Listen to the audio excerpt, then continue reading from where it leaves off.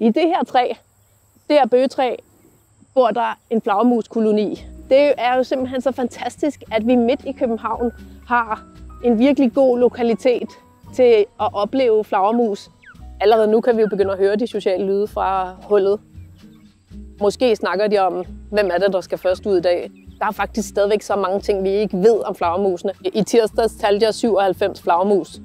Så hvis der skal være plads til 97 flagermus inde i det hulrum her, så kan man jo forestille sig, at de er fuldstændig pakket. Hullet er så lille, så de flyver ud en efter en, og de kaster sig ned eller falder ned i flyvningen, og så får de ligesom kraft til at flyve opad.